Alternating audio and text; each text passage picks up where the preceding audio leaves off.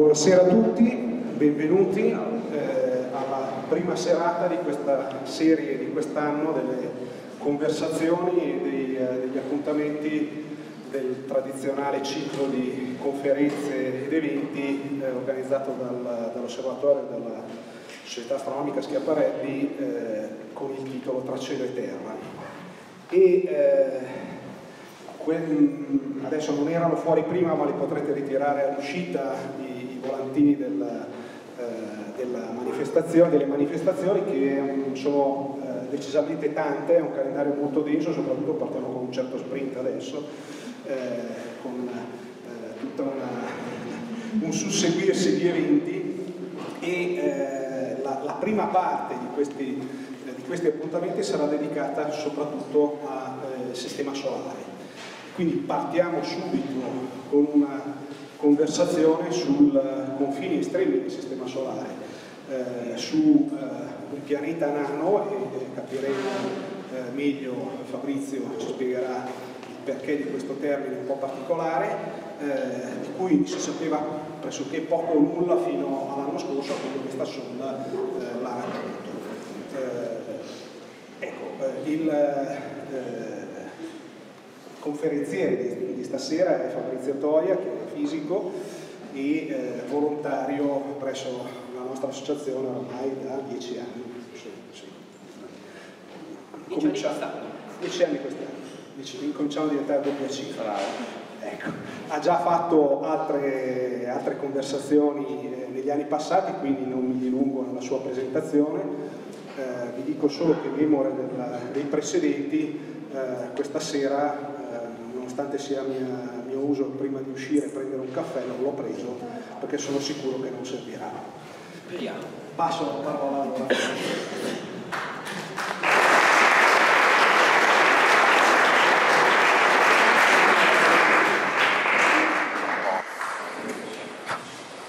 Mi sentite? Allora, buonasera a tutti.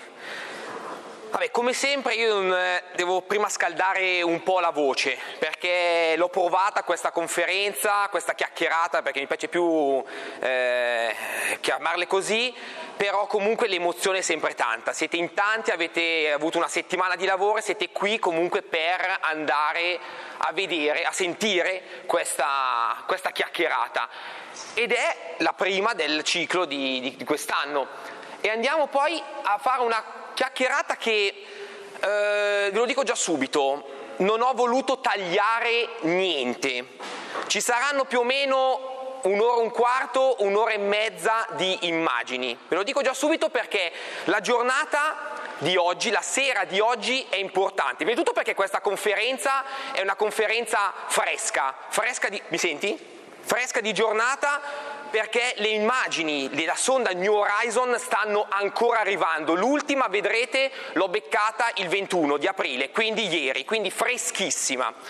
E soprattutto è una giornata ed è soprattutto un momento in cui bisognerà rendere omaggio e giustizia a tante cose. In primis dobbiamo rendere giustizia a lui, Pluto. 2006, Praga, l'Unione Astronomica Internazionale declassa Pluto dopo quasi 70, 76 anni come nono, pianeta, come nono pianeta a pianeta nano. Andremo poi a vedere perché. È importante questa conferenza perché andremo a vedere una, una, un lavoro pazzesco che ha fatto la NASA. La NASA con la New Horizon non l'ha chiamata Pluto Express o Pluto Flyby, l'ha chiamata New Horizon, nuovi orizzonti. La NASA ha chiuso nel 2015 un'epoca, l'epoca della, del, del, sistema solare interno, iniziato nel 62 con la Mariner 2 su, su Venere e ha aperto un nuovo spazio. È andata a vedere una zona zona, la fascia di Kuiper, che è 5 volte in volume quello che è il sistema solare interno, che invece è occupato dagli otto pianeti che andremo a vedere. E poi andiamo a vedere un, un, um, delle immagini di un pianeta assolutamente nuovo e di una zona assolutamente vergine. Assolutamente inesplorata. Per farvi un esempio terrestre, è il Madagascar. Il Madagascar quando si è staccato dall'Africa non ha subito più le influenze del continente e dentro di lui ha fatto tutta una sorta di, eh, di fauna, di flora, completamente un biosistema diverso, appunto perché non ha avuto l'influenza del continente africano. Questa zona non ha avuto l'influenza o comunque ne è praticamente quasi, non ne risente quasi nulla, del Sole e quindi andremo a vedere tutti questi pianeti che, e lo butto lì, possono essere stati loro i semi che poi insieme alle comete con l'acqua hanno portato la vita sulla Terra e potenzialmente, perché no, su altri pianeti che orbitano su altre, diciamo, su, attorno ad altre stelle. Va bene, basta indorare la pillola, direi di cominciare il sistema solare, il sistema solare fino al 1992, tenete presente questa data, era un sistema abbastanza tranquillo, facile, diciamo mh, mm, banale. C'era il Sole che stava in mezzo, lì ci sono i quattro pianeti rocciosi, Mercurio, Venere, Terra e Marte, e più lontano ci sono i quattro pianeti gassosi. Le zone erano fredde, andava bene fare diciamo, questi pianeti ghiacciati oppure gassosi, Giove, Saturno, Urano e Nettuno. Una piccola eccezione, l'eccezione che conferma la regola, perché no? Plutone. Plutone è un piccolissimo pianeta che era là e dico ma cosa ci fa un pianeta roccioso così lontano? Vabbè, l'eccezione che conferma la regola, perché no? Il sistema solare andava bene così com'era e questa era un'ipotetica, diciamo, visione artistica di Plutone che vede un sole molto lontano e Caronte, la sua luna, alla sinistra. Benissimo. 1992, cosa succede? Questi due signori, questi due astronomi, scoprono un pianeta. La vedete qui, il grafico è facile, sembra difficile ma è facilissimo. Lungo la X abbiamo le distanze in unità astronomiche, lungo la Y abbiamo invece l'inclinazione lungo la, l'eclittica. Questi due signori scoprono un pianeta che chiamarono QB1, tut- che sono quei puntini azzurri, e tutta una serie di, um, di pianeti che diciamo sono diventati cubiuani. Questa cosa poi ha portato quindi alla scoperta, di, alla conferma che al di là dell'orbita di Nettuno ci fosse qualcosa oltre Plutone. Un'ipotesi già avanzata nel 52 da un certo Kuiper, che diceva che ipotizzato che al di là dell'orbita di Nettuno ci, fossero, ci fosse una sorta di, di, serbatoio di pianeti nani e di comete appunto per spiegare da dove venissero tutte le comete, diciamo quelle periodiche, come per esempio la cometa di Halley. Gli studi continuarono e trovarono poi un'altra classe di pianeti che sono quelli messi con le linee rosse, si chiamano Plutini, ovviamente il capostipite è il nostro Plutone e questi hanno una particolarità. Vedete che sono tutti ben allineati in colore colonne. Questi perché? Perché hanno diciamo, delle risonanze gravitazionali con Nettuno. Nel caso di Plutone è due terzi. Se voi ve la faccio facile, Plutone ruota in 248 anni, Nettuno in 165. Se fate il rapporto tra i due numeri è due terzi. Quindi tutti questi oggetti che si chiamano appunto Plutini sono tutti diciamo in risonanza, chi due quinti, chi un, un terzo, chi un quarto, con Nettuno. Poi abbiamo tutta una zona grigia, vedete molto distante, che si chiama disco diffuso e fondamentalmente potrebbero essere per esempio le varie comete che ogni tanto magari grazie all'attrazione di, di, di Nettuno ci vengono a trovare.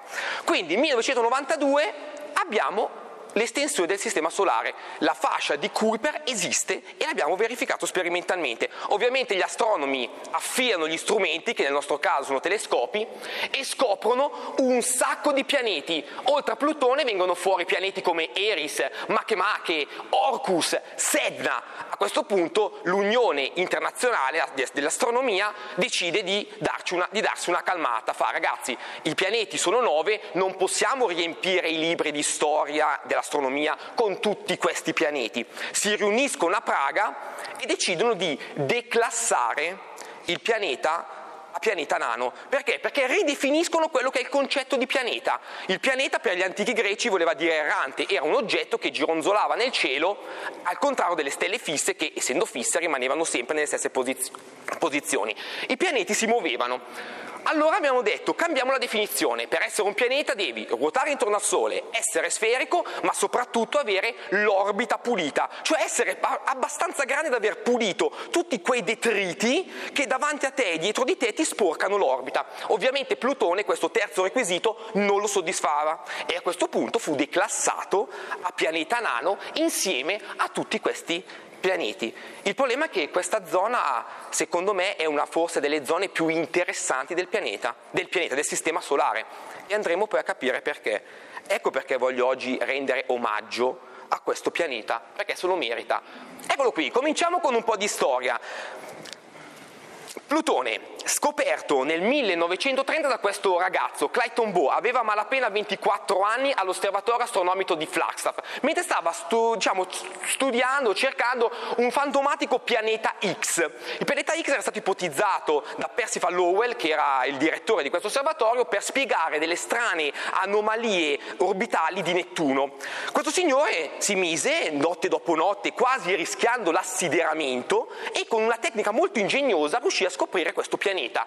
Il problema è che le sonde successive, la Voyager per esempio, quando andò a, cap- a studiare meglio Nettuno, scoprì che in verità Nettuno aveva un'orbita perfetta. Il problema è che gli astronomi del tempo partivano da, de- da dati sbagliati e quindi sembrava l'orbita perturbata, in verità l'orbita stava benissimo.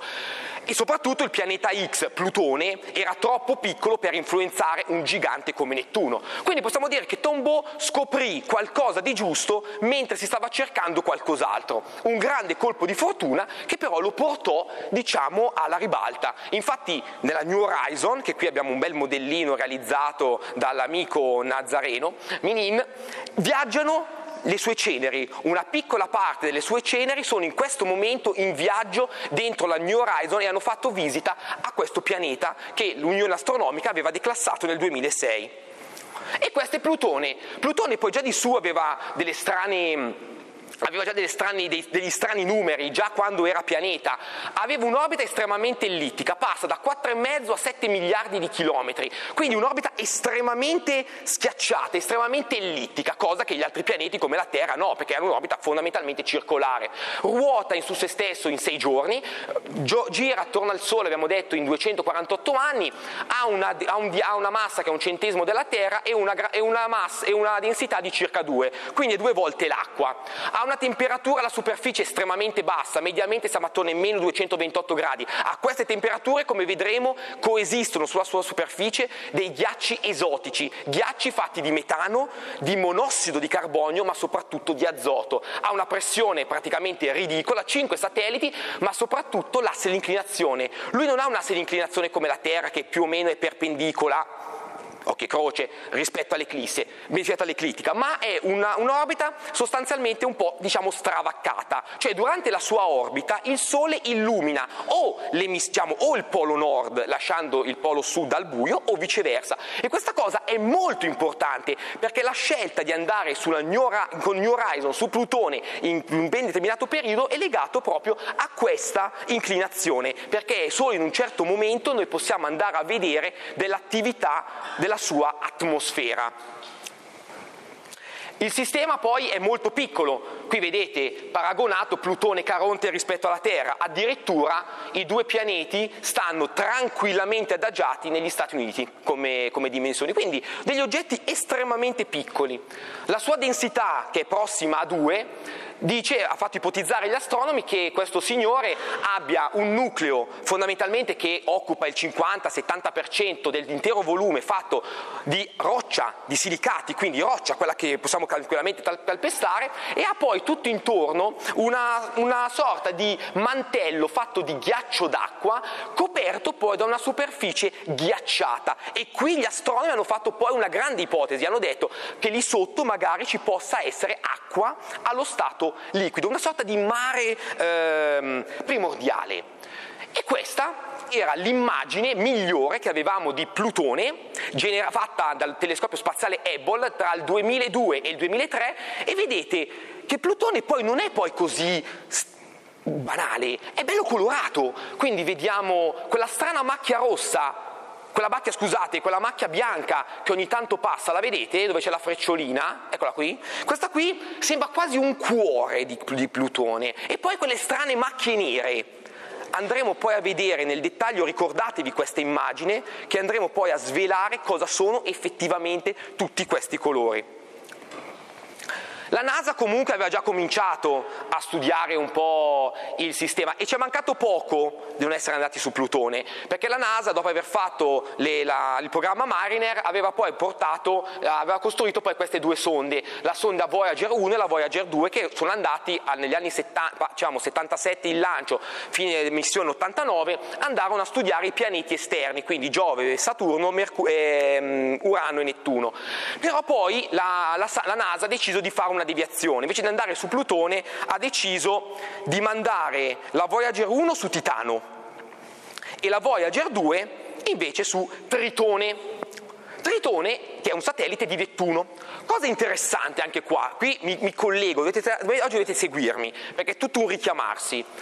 Tritone lo vedete, è un bel pianeta, grande più o meno come in dimensioni, più o meno come Plutone, ma ha una particolarità, a parte avere la densità uguale, che vabbè, L'importante è quello, periodo orbitale meno 6, quindi vuol dire che ha un'orbita retrograda, vuol dire, per farla in breve, mentre, tu, mentre eh, Nettuno ruota in una certa maniera insieme ai suoi satelliti, lui ruota al contrario, cioè se tutti vanno in senso orario, lui va in senso antiorario. Questa cosa ha fatto ipotizzare la NASA che, eh, gli astronomi, che in verità Pluto, eh, Caronte non sia un satellite nato dal materiale di Nettuno, ma che sia il primo diciamo, il primo oggetto della fascia di Kuiper di cui l'uomo abbia fatto la fotografia. Perché? Perché qui si ipotizza che questo, per un motivo che non voglio eh, approfondire adesso, questo oggetto che faceva parte della fascia di Kuiper venne catturato da Nettuno e da quel momento divenne il suo satellite.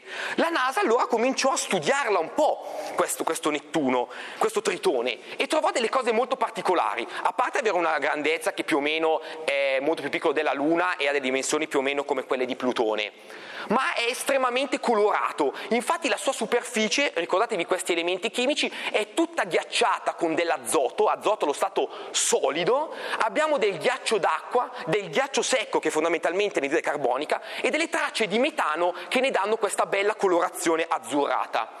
Inoltre ha una superficie estremamente liscia, poco craterizzata, quindi vuol dire che su Tritone abbiamo dell'attività geologica. Questa è la superficie molto liscia di quello che potrebbe essere un criovulcano, vedete la bocca è quella cosa lì centrale. Un criovulcano è un vulcano di quelli nella Terra, invece di eruttare la, eh, lava calda, magma, eh, erutta roba ghiacciata, come per esempio ammoniaca piuttosto che acqua. Ed è una superficie estremamente liscia, quindi vuol dire giovane, quindi vuol dire che qualcosa l'ha modellata. E l'unico cratere è questo qui, piccolino, che è lì e non ha avuto ancora il tempo, il pianeta, per andarlo a lisciare. Altra cosa interessante è questo, questo viene chiamato, sempre da suite di Tritone, un terreno a cantalupo, perché ricorda il, can- il, melone a cantalupo, il famoso melone, cioè il melone che adesso si mangia perché arriva l'estate, è tutto molto fresco. E qui vedete tutte queste specie di scannilature, di valli, sono dovute a un fenomeno geologico che si chiama diapirismo, ovvero un moto convettivo di qualcosa di leggero che arriva in superficie, rompe e crea questa bellissima, ehm, questo bellissimo mosaico. Ricordatevi questa parola, dia, dia, eh, diapirismo, perché lo, lo, ritroveremo dopo con, con Plutone. Poi abbiamo come attività geologica dei geyser, e qua li vedete segnati, e questi geyser, sempre su Tritone, sono poi i responsabili della tenue atmosfera che avvolge questo satellite o questo pianeta nano perché alla fine abbiamo capito che lui è una sorta di, pre, di cioè un pianeta nano diventato satellite e anche lui ha una debole atmosfera esattamente come quella di Plutone, che ha soltanto praticamente un'inizia rispetto a quella di quella terrestre.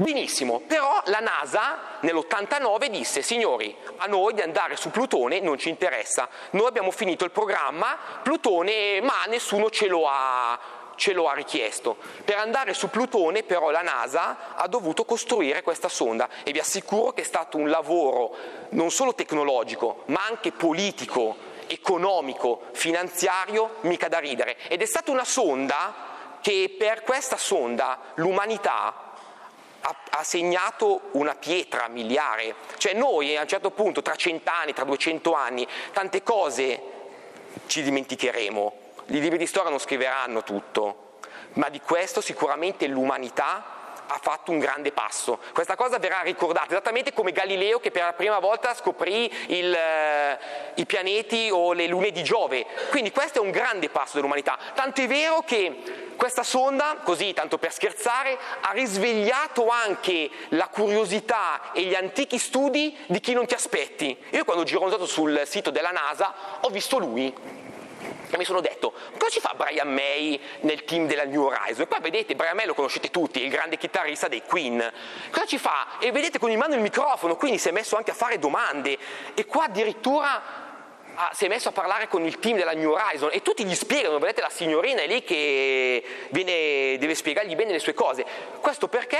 Perché ho scoperto, non lo sapevo, che Brian May prima di diventare il chitarrista dei Queen è, è, è laureato e ha un PhD in, eh, in, astrofisica. Quindi la New Horizon ha svegliato in lui tutta questa, diciamo, i vecchi ricordi di astrofisica e da, dalle facce delle persone sembra che qualcosa si ricorda ancora. Bene, ottimo, bravo, bravo Brian. Ma, a, a parte gli scherzi, il vero padre della, della, sonda New Horizon è lui, è Alan Stern. Alan Stern già lavorava alla NASA già ai tempi della, delle Voyager. Dopo le Voyager gli disse alla NASA, ok ragazzi adesso fatto 30, facciamo 31, si va su Plutone. E la NASA dice perché? Mm, nessuno ce lo chiede, nessuno lo vuole. Poi gli ha detto, vabbè, fai una bella cosa, Alan, sei bravo, fai, sai un sacco di cose, comincia a buttare giù un po' di programmi. E lui ha cominciato dal 1990 a fare programmi che si chiamarono Pluto 350, Pluto Express, Pluto Fast Flyby, che tutti venivano immancabilmente presi in considerazione e cassati. Ma Due furono le grandi casse di risonanza per, per diciamo, stimolare il governo dell'America a sganciare i soldi per poi ehm, realizzare questa sonda. La prima fu loro, la Planetary Society, una, una, una società diciamo, no profit formata da Carl Sagan, lo vedete lì in questo eh, beige nel, nel momento del 1980 durante l'atto di fondazione, che loro, il motto è ispirare i popoli della Terra ad esplorare altri mondi, comprendere prendere il nostro e cercare la vita altrove. Infatti Carl Sagan poi eh, diede vita diciamo, al, al, progetto SETI. In verità sotto sotto avevano solo una, una, una sola, diciamo, un, un altro fine, era quello di stimolare l'opinione pubblica in modo da rompere le scatole alla Casa Bianca affinché potesse finanziare i programmi della NASA appunto per andare a fare grandi diciamo, ricerche eh, su altri pianeti. Ma la vera chiamata alle armi per gli americani fu questa, voi non ci crederete, ma fu questo. 1981 la, mm, le poste americane misero fuori una serie di francobolli per commemorare diciamo, le imprese spaziali. Ad ogni pianeta una sonda quando arrivarono a Plutone c'era solo il pianeta, il pianeta americano not yet explored, non lo avete ancora esplorato. E questa secondo Alan Stern fu la chiamata alle armi. Tutta l'opinione pubblica cominciò a spaccare proprio i cosiddetti marroni perché si doveva andare su Plutone. La NASA a questo punto, la NASA o meglio il governo, ai tempi c'era Bush figlio, esausti dissero va bene, volete andare su Plutone e andate su Plutone. Diedero l'ok nel 2001 e nel 2002 cominciarono la costruzione di che cosa? Di questa sonda. Eccola qua, in tutta la sua bellezza. Questa è la New Horizon, un gioiello di tecnologia. La vedete qui, piccolissima, è grande come un pianoforte, 2 metri per 2 metri, alta 2 metri e mezzo, pesa pochissimo, 470 kg, che voi direte eh, quanto è. Tenete presente che un satellite delle telecomunicazioni banalmente pesa tra le 3 e le 4 tonnellate, la Cassini era alta 8 metri e pesava 3 tonnellate e mezza, tutta rivestita con questo materiale che non solo deve tenerla al caldo, ma deve proteggerla da tutti quei detriti che potrebbero distruggere la, la potrebbero distruggere la sonda. Come va? Chi ha costruito? Chi è l'artefice? Io non voglio dire la NASA, perché la NASA fa soltanto quella che sponsorizza e che lancia, ma qui dobbiamo rendere omaggio a un grande lavoro e soprattutto quella, quella, quella sonda, e vedremo poi che sarà un problema, non ha parti mobili, cioè vuol dire che non ci sono parti, meccanismi ruotanti, perché la filosofia è che tutto ciò che non c'è fondamentalmente non si rompe e là sopra alla velocità, tenetevi forte, di 50.000 chilometri orari, un milione e mezzo di chilometri al giorno, quella sonda non deve rompersi. Chi sono i, i, diciamo, i, i geni che hanno costruito tutto questo po' di roba? I due fondamentali, il Southwest Research Institute dove lavorava e lavora tuttora Alan Stern in Texas e poi l'Applied Physics Laboratory della John Hopkins University in Maryland. Chi sono questi, questi, APL? Sono i cugini minori del JPL. Il JPL è il Jet Propulsion Laboratory che sta a Pasadena in California. Loro, diciamocela tutta, sono gli dei della costruzione delle sonde. Quando la NASA deve fare la Cassini, deve fare delle cose estreme, va dal JPL. Per questa sonda però loro, che sono i cugini minori, si sono, diciamo, diciamo distinti con lode. Molto bene. Come va facciamo un po' di cose tecniche. Come va questo oggetto? Non possiamo certo fare l'energia elettrica dei pannelli solari, siamo troppo distanti. Utilizziamo questo, un generatore termoionico a radioisotopi che va a plutonio. Ovviamente per andare su Plutone ci serve il plutonio. Infatti non a caso il plutonio è l'elemento chimico che fu scoperto poi nel 1940. E poi come trasmettiamo i dati? I dati, cioè tutti i dati vengono mandati su e ricevuti grazie a questa antenna, un'antenna da due, due metri e mezzo di diametro e soprattutto trasmette a 1000 bit al secondo, non byte bit e soprattutto non mega o giga, non c'è il 3G, va a 1000 bit. Ecco perché la sonda ci impiegherà 16 mesi a scaricare gli 8 più 8 gigabyte di memoria a stato solido che sono stati riempiti durante il flyby. Perché così poco? Perché la NASA ha detto, signori, noi non abbiamo fretta, dobbiamo però avere la certezza di portare a casa tutti i dati, quindi meglio pochi ma sicuri. E andiamo avanti. Tutte le immagini che vedrete oggi sono il responsabile è lei, la telecamera LORI, Long Angle Recognized Imager, è una telecamera ad altissima risoluzione che lavora nel, nel, in bianco e nero. E pensate, consuma solo 5,8 watt, ma, cioè, ma impa, impossibile, dopodiché ha una, ha una, ha uno, per evitare che ci siano delle deformazioni, tenete presente che quello schermo, quel, quello specchio è stato costruito in carburo di silicio, che è il materiale più duro che esista, che l'uomo diciamo, conosca, appunto per evitare delle contrazioni per l'ambiente freddo in cui lei dovrà lavorare. La seconda camera che ci darà tutte le immagini, lei è Ralph, è uno spettrometro che lavora nell'infrarosso e nel visibile, consuma 6,3 watt, praticamente niente, e poi tutti questi eh, tre oggetti che sono Alice, Rex, Swap e Pepsi, che invece serviranno per andare a studiare la superficie nonché l'atmosfera e l'interazione dell'atmosfera con il vento solare e il vento solare stesso. Per la cronaca, quella Alice è l'Alice, che chi magari è appassionato di astronautica, è la stessa Alice che vedete sulla Rosetta. Alla Stern ha prima progettato l'Alice della Rosetta, quella che è andata a trovare la cometa 67P eh, Churyumov-Gerasimienko e la versione 2, la 2.0 migliorata, è qua sulla nostra sonda New Horizon. L'ultimo strumento, ho voluto dargli una slide tutta per lei, è il Venezia Burning Student Dust Counter, ovvero è quel piccolo strumento che andrà a raccattare la polvere che sta, diciamo, in questa zona del sistema solare. Abbiamo detto che è un sistema vergine, dove la, ter- dove la mm, come si chiama, il Sole non è riuscito a, mm, a, a, a, perturbarlo con la sua radiazione e quindi ecco che da qui andremo a capire quelli che sono potenzialmente i sebi che potrebbero poi aver dato origine alla vita forse sulla Terra. Eh, Student Dust Counter perché studi- è il primo strumento che è stato eh, costruito interamente da studenti dell'Università del Colorado. La domanda che mi sono posto è ma chi è Venezia Burney? Perché poi le cose uno mica le sa, non è che è nato imparato.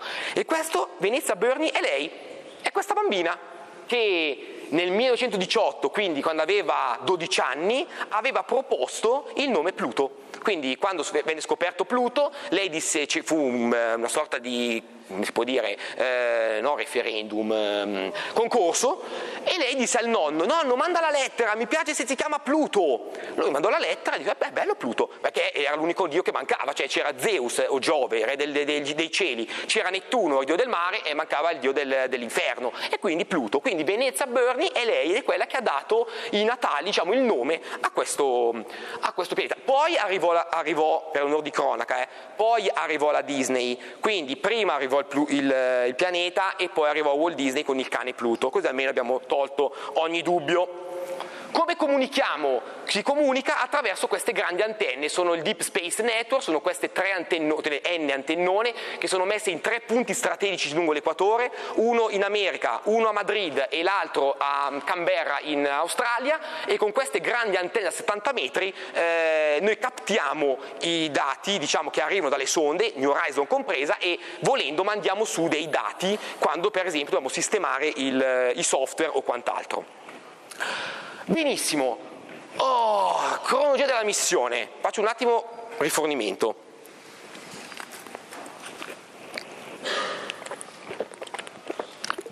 Ok, la domanda è, fino a qua va bene? Non vi ho persi, molto bene. Allora, dobbiamo, abbiamo detto 2002 iniziamo la, la costruzione, 2006 bisognava lanciare. Perché? Non a caso, non si lancia a Muzza. Perché il 2006? Perché bisognava andare a prendere il pianeta nel momento in cui era interessante andarlo a prendere. Allora, Plutone è molto distante dal nostro Sole. Noi, allora, tenete presente che Plutone è passato al perigeo, punto più vicino al Sole, nel 1989 e ha ricevuto il suo emisfero illuminato, perché è sempre stravaccato, ha ricevuto una certa quantità di luce, ma come sulla Terra voi sapete che l'ora più calda non è il mezzogiorno, ma sono le due. Quindi l'energia che, ha, che, lui ha preso durante il perielio e che ha continuato a prendere, ha cominciato a scaldare l'atmosfera e infatti gli scienziati hanno visto che con, altre, con tecniche diciamo da terra, che l'atmosfera si stava accendendo. Quindi bisognava andare non nell'89, fortunatamente perché non c'erano i soldi, ma bisognava andare qualcosa come 20-25 anni dopo, appunto per permettere all'atmosfera di scaldarsi. Ma non possiamo aspettare troppo, perché se lui poi si allontana troppo dal Sole, ovviamente a parte costare di più la missione, impiegarci di più per andare, ma soprattutto il freddo fa condensare tutta l'atmosfera e la New Horizon quando arriva là vede un bel pianeta ghiacciato, senza niente cu- su cui analizzare. Quindi bisognava lanciare tutto entro il 2006 e soprattutto entro gennaio e soprattutto entro prime, i primi 20 giorni. Questo perché? Per sfruttare il, il gravity assist di Giove e quindi dare quella botta pazzesca alla sonda per, diciamo, per anticipare l'arrivo a Plutone di circa 2-3 anni. Quindi la missione cominciò e a stretto giro si cominciò a lavorare dal 2002. Nel 2005 la sonda fu trasportata da questo Boeing dove? Alla, alla, mm, alla, al Cape Spencer Center a Cape Canaveral. Viene poi montata, viene montata su questo oggetto, era l'Atlas 5, era l'oggetto più potente che la NASA aveva. È una specie di, proprio, è ovvio, non posso dire è un missile, è ovvio, è un missile, però è l'oggetto più forte, ma non bastava, questo mandava su roba da 3-4 tonnellate, la sonda ne pesa 450-70, ma non bastava, gli hanno messo uno stadio superiore, cioè l'hanno praticamente taroccato, l'hanno fatto diventare un super razzo, tant'è vero che poi, guardate la fortuna, il 19 gennaio, mancava un giorno alla scadenza del famoso 20, dopo due rinvii a causa diciamo, del, di, un, uh, di controlli, di verifiche o cause meteorologiche, la sonda viene lanciata da questo signore. La sonda parte ed esce dall'atmosfera alla velocità di 50.000 km all'ora. Tanto per dirvi, arriva nell'orbita della Luna in 9 ore. Le, quelli dell'Apollo ci hanno impiegato 3 giorni ma non è mica finita. Nel, nell'aprile arriva su Marte, quindi praticamente tre mesi dopo, a maggio entra nella fascia degli asteroidi e ad ottobre ne esce. Nel 2006 è interessante, però ho scoperto che nel 2006, mentre loro lanciavano la New Horizon, l'umanità ha scoperto Twitter. Quindi bella questa, questo giochino. Dopodiché bisogna però, dici, va bene, va bene New Horizon, adesso cominciamo a scaldare un po' i motori, facciamo un po' di palestra in vista di Plutone. E qui la prima immagine, Lori nel giugno del 2006 fa la foto a questo asteroide che è il 132524 APL, che è un asteroide che la sonda New Horizon aveva eh, diciamo, scoperto durante il suo volo. Grande evento è questo, siamo nel settembre, 21-24 settembre, alla distanza di 4,2 miliardi di chilometri, la New Horizon vede la meta, ok, dobbiamo andare là. Sembra facile, vi posso assicurare che la New, la, i tecnici della NASA e diciamo, il responsabile della navigazione nel 2012 ha realizzato che la sonda non sapeva dove stava andando. Quindi tenete presente questo 2012 perché è, è stato un bello, un bello spaghetto per, la, per, quelli della NASA. Arriva febbraio, otto, siamo arrivati su Giove, dobbiamo fare il, eh, l'assist gravitazionale, ma dato che siamo lì accendiamo tutti gli strumenti e a lì facciamo un po' di foto del grande Giove in altissima risoluzione, roba che la sonda da eh, Galileo si sogna di notte, o oh, poverina, si sognava perché ormai è bella che è morta.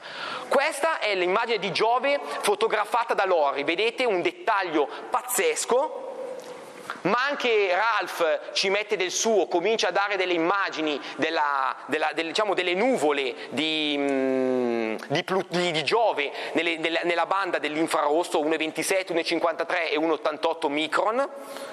E poi qua, guardate che bello, qua fa vedere tutta la bellezza di questa, di questa misteriosa atmosfera, tutta così colorata, perché è un'atmosfera velenosa fatta di metano, idrocarburi, composti zo, del zo, dello zolfo soprattutto e poi ci regala questa bellissima macchia rossa. Vedete lì poi tutto il dettaglio di questo ciclone che già Galileo e Cassini avevano studiato e anche Huygens avevano studiato nel 1600.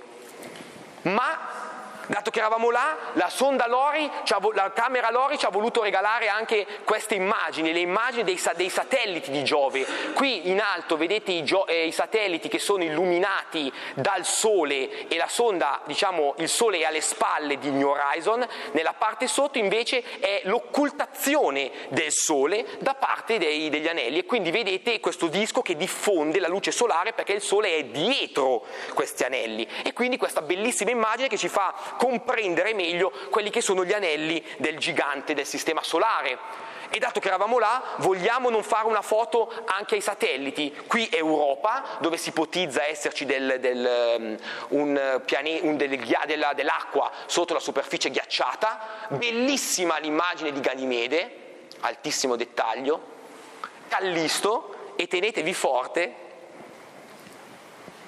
questa è l'eruzione del, sul pianeta, diciamo sul satellite Io, un'eruzione alta 290 km nel polo nord del vulcano Tvashtar. E quindi qua vedete, questa è stata l'ultima immagine perché poi la sonda ha avuto il, l'assist gravitazionale e è andata in ibernazione. A questo punto la sonda si è spenta.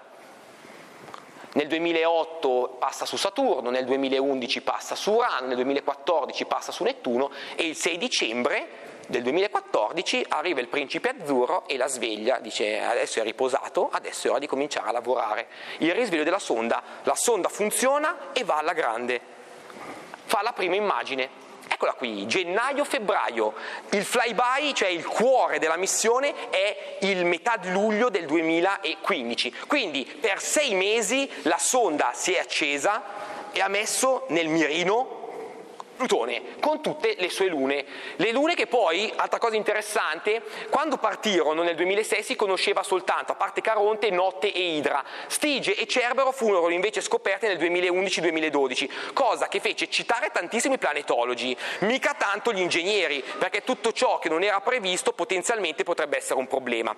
Vi dicevo la, la navigazione. La navigazione di... Voi non, voi non, ci crederete, voi pensate che la NASA dice, vabbè, il Plutone è là, basta farlo andare. La sonda. E invece no, perché la sonda New Horizon, insieme alla camera LORRI, si, si um, utilizzava le stelle fisse per orientarsi, cioè lei faceva un sacco di foto, le mandava a terra e un po' come i vecchi naviganti con il sestante guardando le stelle fisse si, diciamo, sapeva più o meno dove andare. Nel 2012 però un, eh, il responsabile della navigazione si rese conto che Plutone non sapevano bene dove stava. Voi direte, ma come non sapete dove andare? Eh, mettetevi nei loro panni. Questo oggetto viaggia a 50.000 km all'ora e se voi sbagliate anche soltanto di un'inizia le condizioni di navigazione, magari quando arrivate al momento clou della missione vi ritrovate talmente lontani da Plutone che a un certo punto le foto, le camere stanno fotografando praticamente il nulla cosmico.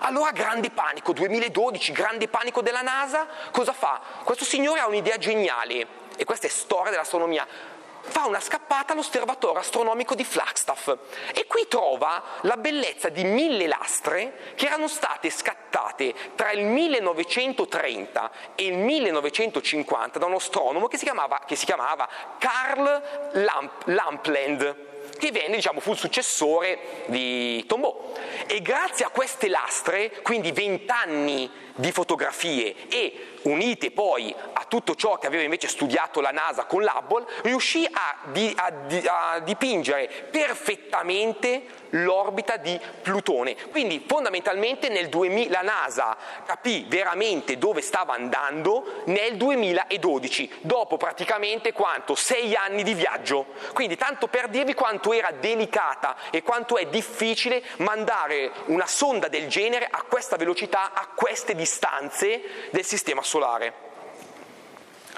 E qui arriviamo praticamente a luglio. Qui una cosa è arrivata interessante, allora la sonda non è che possiamo, a quella velocità non è che possiamo dare all'ultimo, non possiamo diciamo eh, lavorare troppo fino all'ultimo sulla traiettoria. L'ultima, diciamo, l'ultimo input per dare la traiettoria alla sonda doveva avvenire entro e non oltre il 4 di luglio. Dopodiché la sonda andava, quello che veniva veniva, avevano tempo, la, il, la, il, tempo, diciamo, il deadline era il 4 di luglio. Dopodiché, signori, quello che c'è c'è, non si può più fare niente, la sonda ormai deve andare spedita come un treno. E qua vedete che la sonda si stava avvicinando, qua eravamo al primo di giugno, di luglio, scusate. Qui vedete anche la macchia, ho voluto mettere vicino la macchia, quella macchia nera, vi ricordate le immagini che vi ho fatto vedere dell'Hubble, che continua a ruotare perché il pianeta comunque ruota in sei giorni. Il 4 di luglio la NASA mette, la, mette le coordinate, tutto è andato bene. Vanno a letto, tranquilli, gli ingegneri continuano a lavorare. Il 5 di luglio avviene il patatrack il, eh, il, processore, il Mongoose 5, che per voi non dirà niente, ma chi ha la PlayStation 1 e 2 ha contribuito allo sviluppo perché, di questo processore, perché è il processore che fa andare la PS1 e la PS2, a un certo punto va in safe mode, cioè stacca tutto. Il processore dice il 5 di luglio, mancano 10 giorni al flyby, il, il processore stacca tutto ed, ed, entra il computer di servizio. La NASA va nel panico, alla Stern scende dal letto, incazzato come una biscia. A un certo punto la NASA si mette a lavorare e il Mongoose riparte Benissimo, ok, missione salve, abbiamo perso qualche foto ma poco, poco importa. La NASA però vuole un, re, un, un, report, vuole un rapporto. Cosa è successo?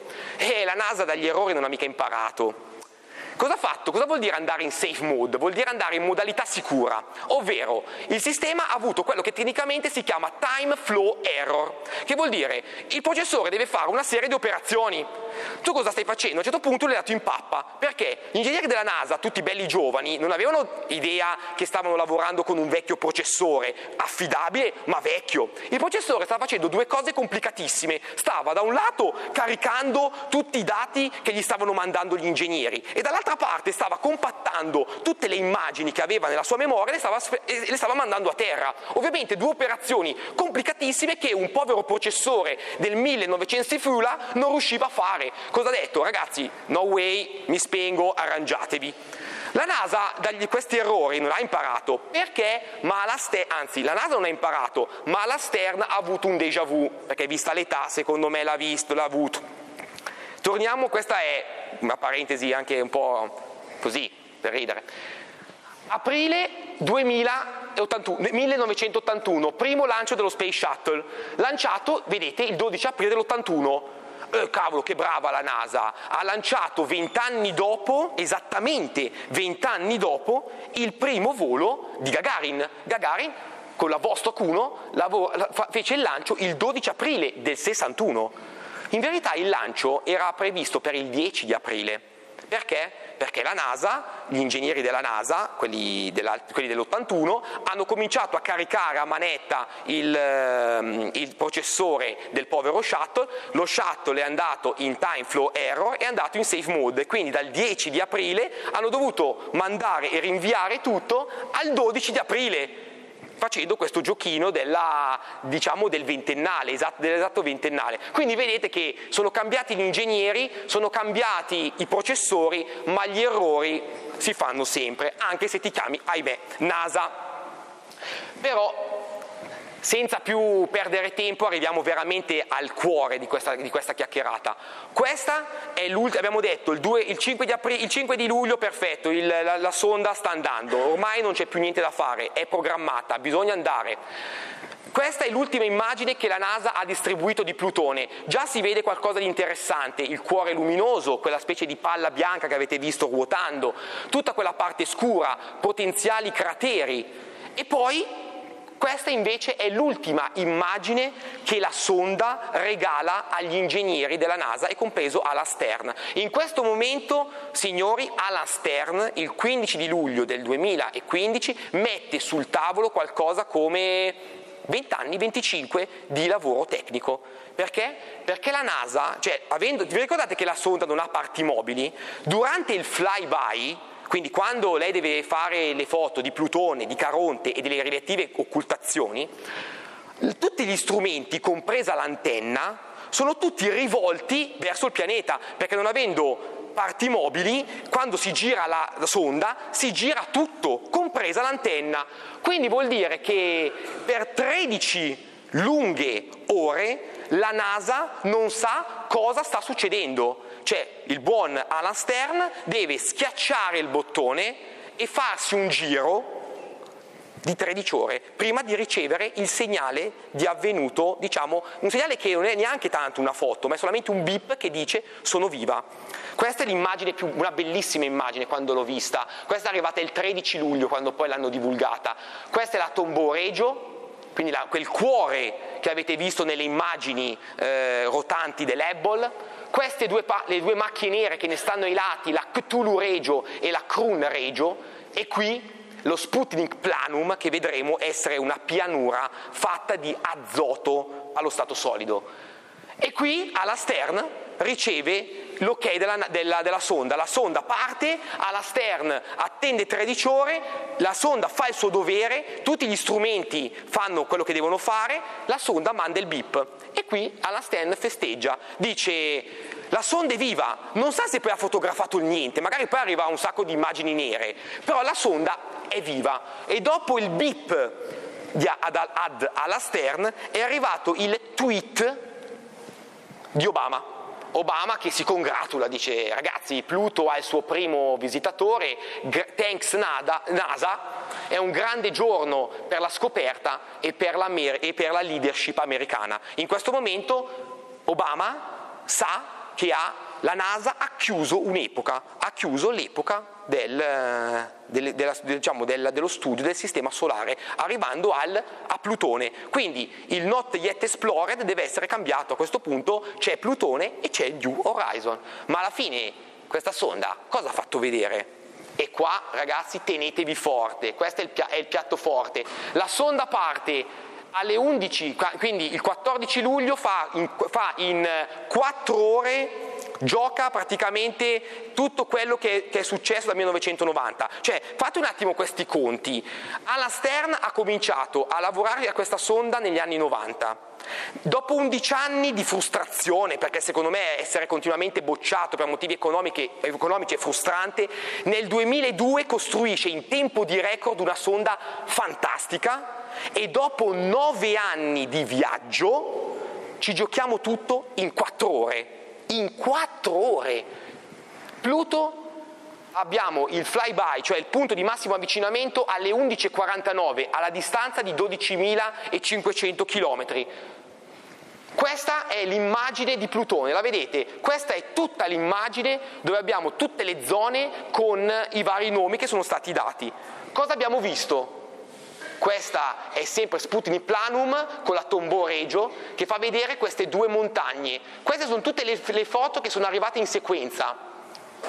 Questa è un'immagine ad alta risoluzione della sonda, della sonda Lorry e andiamo a vederle in, in, dettaglio. Questo è lo Sputnik Planum, vedete questa distesa bianchissima, molto liscia, quindi molto giovane, con strane, eh, questi strani canali Qui abbiamo la Hillary Mons, i, i, monti di Hillary e i monti di Norgay. Chi sono nel dettaglio? I Norgay Mons sono delle montagne fatte di terriccio e di ghiaccio, abbiamo trovato delle montagne di terriccio e di ghiaccio alte fino a 3500 metri, quindi mica, mica paglia, che sono state dato diciamo, il nome è stato Norgay Mons, Norgay era questo signore, era Norgay il, lo Sherpa che nel 1953 insieme a Dillary, andremo a vedere, ha scalato per la prima volta il, l'Everest. Questo è le montagne invece Hillary, le Hillary Mons eh, sono invece alte soltanto 1000-1500 metri, la foto risale al 22 luglio del 2015 e qui appunto sono dedicate al Sir Edmund Hillary che nel 1953 insieme allo Sherpa Norgay andarono diciamo la prima spedizione diciamo buona, senza, senza morti, sul, sull'Everest. Ma non è finita qui.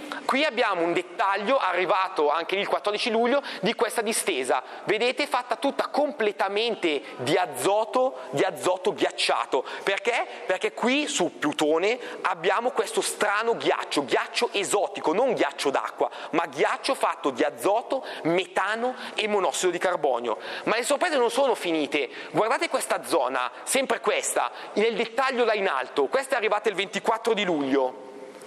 Vedete? Queste sono delle sorte di evidenti forme a spirale, come se il ghiaccio scendendo lungo una, una, una scarpata si scontra contro le montagne e lì cosa fa il ghiaccio essendo più leggero, ghiaccio d'azoto è molto più leggero rispetto alle, alle, mh, alle rocce, tende a, a a rifluire, tende a girare l'ostacolo e questa è un'evidenza che sotto Plutone c'è fondamentalmente dell'attività geologica.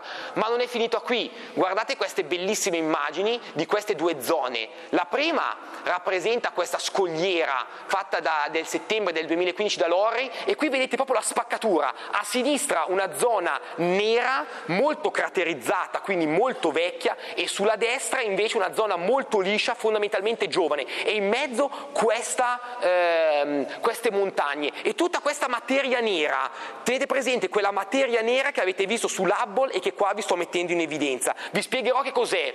E qui la parte sotto, dove qui si vede sempre la zona chiara e la zona scura di sotto, e qui delle strane, qua ho fatto dei piccoli appunti che mi sono preso, qua un'interessante zona dove abbiamo delle creste, qui magari non si vedono bene, che sono tutte perfettamente allineate, come se fossero delle dune, è come se in un antico eh, passato il, eh, su Plutone i venti avessero modellato questa zona esattamente come il vento modella le dune del deserto. Ma cos'è questo? Poi qui, bellissima, questa quando l'ho vista è stata veramente eccezionale. Qui avete delle creste, delle valli e cosa fa le valli? Le valli spingono a, diciamo, verso il basso i ghiacciai e qua abbiamo che cosa?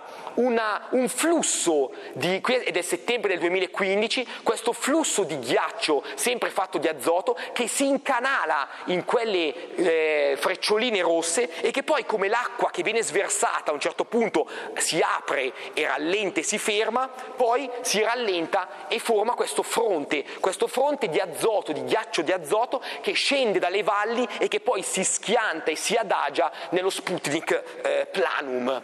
Ma non è finita, eccola qua, questa è bellissima questa immagine, è l'immagine che fa vedere sempre lo Sputnik Planum e questa zona che è il Cthulhu Regio con questa sostanza nera. Che cos'è questa sostanza? Nient'altro che materiale organico, che si chiama tolina, tolina che vuol dire eh, paciugo, eh, qualcosa di tipo melmoso. Perché? Perché questo qui è, si ipotizza che è del materiale organico di diciamo, azoto che si era liberato nell'atmosfera, questo azoto con delle reazioni fotochimiche, quindi grazie all'ultravioletto del nostro Sole, ha creato eh, composti molto più complessi, come per esempio etanolo, etano, piuttosto che acetilene, piuttosto che eh, composti aromatici, e questi composti comunque carboniosi si sono poi adagiati su questa superficie. Eccola quella che io dicevo, che questi saranno, è molto più interessante questa zona, perché questa zona contiene non solo del materiale organico, ma contiene anche l'acqua dovuta alle comete. Quindi fate fate 2 più 2, per fare la vita sulla Terra servono fondamentalmente due cose, l'acqua, e potrebbe arrivare dalle comete, la seconda potrebbe essere il materiale organico, e il materiale organico potrebbe essere questo, trasportato dalle comete perché magari hanno impattato questi mondi in un, in un lontano passato. Qui un'altra immagine che fa vedere invece tutti i crateri, questa è arrivata nel novembre del 2015 e qua vedete tantissimi crateri, soprattutto nella zona nera, ma il cuore di Plutone fondamentalmente privo di crateri, quindi una zona estremamente giovane e quindi a lei con l'ipotesi sempre più vera che lì sotto ci sia un'effettiva eh, attività geologica, esattamente come Tritone. Comincio a ricordarvelo questo, questo pianeta nano. Poi un'immagine qua, ma, ma sono bellissime, io ho, una, ho, fatto fatica a, togli, a, a fare una, una, cernita.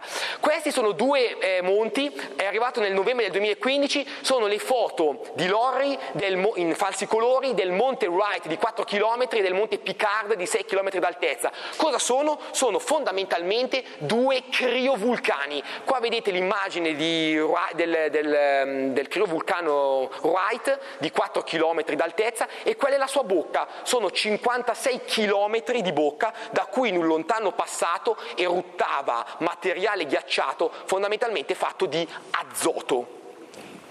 Ma non è finita qui, questa è l'immagine del dicembre, qui abbiamo tutti questi crateri molto strani, vedete che all'interno abbiamo tutte queste stratificazioni, che, cioè l'impatto ha messo in evidenza queste stratificazioni. E qui gli scienziati della NASA suppongono che ci possa essere stato, per motivi che ovviamente sono sotto indagine, un cambiamento nella composizione chimica, fisica del pianeta o fondamentalmente un evento geologico che però è ancora sotto studio.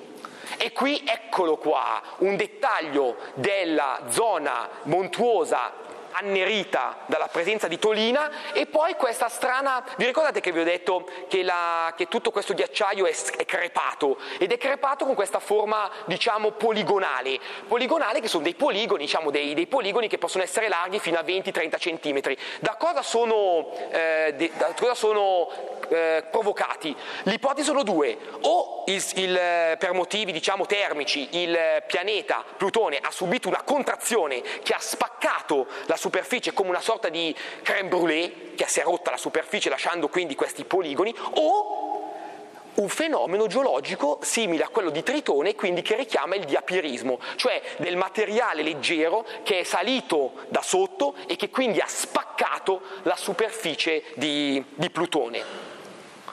Questa è l'immagine di, strani, di, questa strana puntinatura, lì vedete la, il, il, dettaglio di dove, dove, arriva, questo è uno, strano, è uno strano meccanismo, una strana puntinatura che in nessun luogo del sistema solare hanno mai visto e qua si ipotizza essere legato a strani meccanismi di fratturazione uniti alla sublimazione del materiale sottostante. La sublimazione è quel fenomeno dove il materiale sottostante passa direttamente dallo stato solido allo stato gassoso.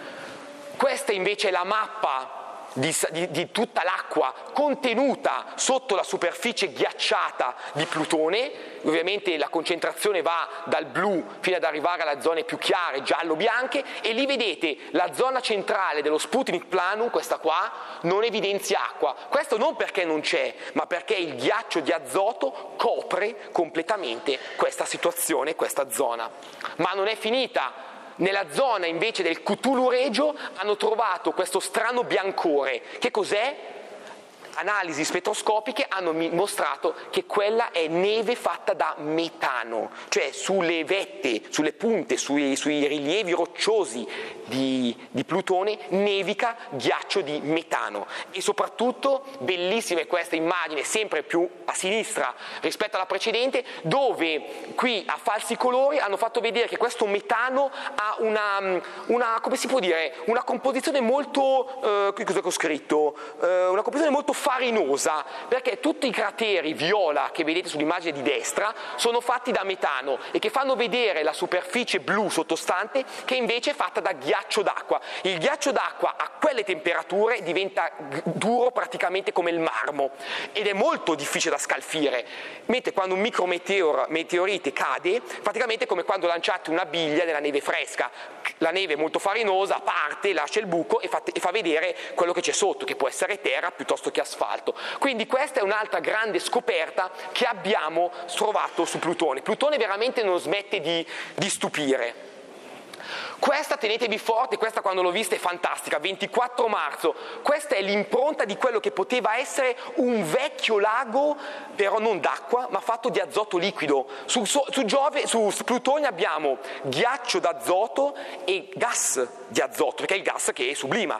Quando la temperatura era un pochino più calda, a questo punto ci poteva essere anche l'azoto allo stato liquido e quindi questo è l'impronta di un lago fondamentalmente fatto di azoto azoto. E per, ulti, per la penultima che vi faccio vedere, questa è un'immagine di un cratere chiamato cratere Spider, che ha forma di ragno, e qua è bellissimo che fa vedere questa frattura lunga quasi 580 km, arrivata l'11 aprile e qua è molto simile ad altri due crateri, diciamo, a forma di ragno che la NASA aveva già visto sia su Mercurio ma soprattutto su Venere. Notate comunque la, diciamo, la somiglianza. L'ultima, perché ho detto che la, la, la presentazione è fresca come la, come la, mozzarella di bufala, è arrivata oggi, 21 aprile 2016. Questi sono stati chiamati alocrater, cioè eh, crateri eh, luminosi, alonati.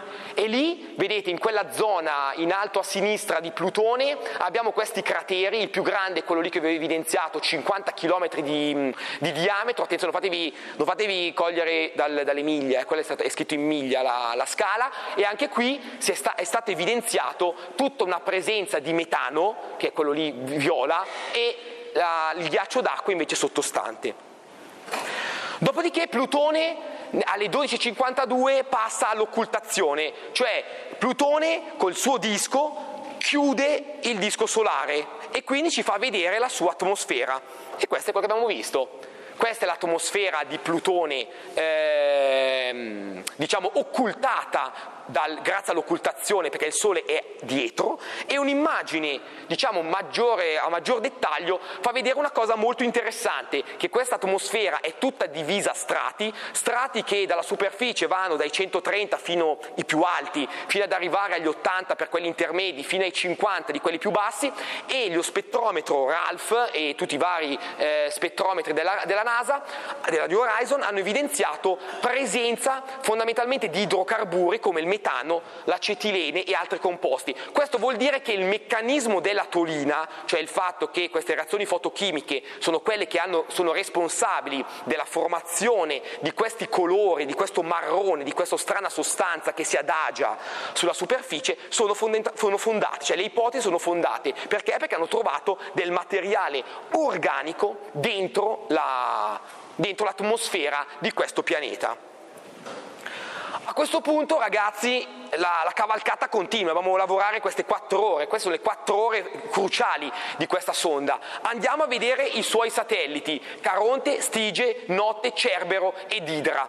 Ovviamente il primo... Ah, Cominciamo a capirci un attimo come si sono formati questi satelliti. Eh, I satelliti di Plutone sono, hanno diciamo, una genesi più o meno come quella della, della Luna. Eh, c'è stato un grande oggetto che è, si è scontrato con Plutone, ne ha praticamente eh, distrutto il mantello, lasciando fondamentalmente intatto il nucleo. Infatti vi ricordate che il nucleo è molto più grosso rispetto al mantello che lo avvolge. Tutti questi detriti si sono poi messi nello spazio e hanno cominciato a ruotare attorno a Plutone come un, un grande disco di accrescimento. Da questo disco Plutone poi col tempo si è ritornato, diciamo, si è rimodellato nella forma mh, mm, eh, sferica e invece da tutti questi detriti a questo punto si è formato Caronte e successivamente con gli scarti le sue lune, le altre, le altre, quattro che andremo a vedere. Ovviamente Caronte, non lo sto neanche a dire, è, dato che Plutone è il dio degli inferi, meglio di lui che poteva essere il suo fido compagno, quello che le anime le porta direttamente a Pluto e quindi Caronte che è il grande nocchiere che porta le anime nell'inferno dantesco.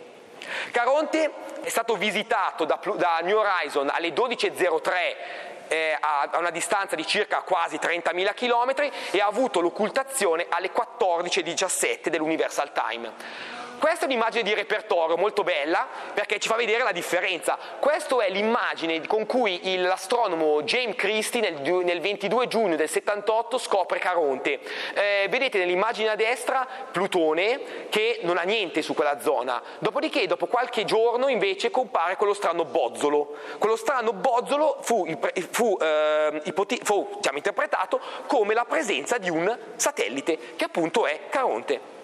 Caronte poi Diciamo che Caronte è là, è là, è, mm, ha un diametro che è circa la metà e crea diciamo, questo strano sistema che diciamo, il, diciamo che oltre, possiamo dire questo, Plutone non solo è un pianeta nano, ma insieme a Caronte è il primo sistema binario, perché un occhio attento fa vedere che in verità non è Caronte che gira intorno a, a Plutone, ma in verità i due, i due, alla distanza di circa 20.000 km, ruotano in 6,4 giorni attorno a quella X che vedete essere esterna al pianeta, quindi vuol dire che entrambi ruotano in una sorta di valzer attorno a quel punto che è il baricentro, il baricentro che sta fuori dal pianeta, mentre per il sistema Terra-Luna è la Luna che ruota attorno a noi, perché noi siamo molto massicci rispetto alla Luna e siamo, ed è la Luna che ruota attorno a noi, perché il baricentro ce l'abbiamo noi al nostro interno. Però la, la, l'Unione Astronomica non ha mai riconosciuto a Plutone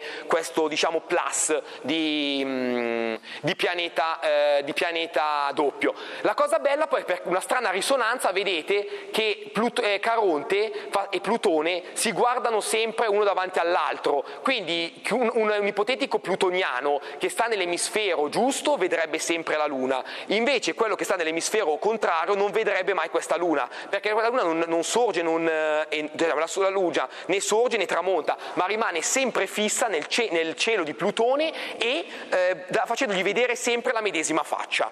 Molto bene, questa è l'ultima immagine che la NASA diffonde di Caronte, anche qua vediamo tanti crateri, cose, beh, l'immagine rispetto al 78 è migliorata decisamente, la regione scura polare che andremo a vedere poi ha un nome molto particolare per gli amanti del Signore degli Anelli e questo è il nostro Caronte. Caronte che abbiamo detto ha un diametro di 1200 km e qui ha delle particolarità. In primis questa frattura che praticamente lo taglia da nord a sud come se fosse un terminatore.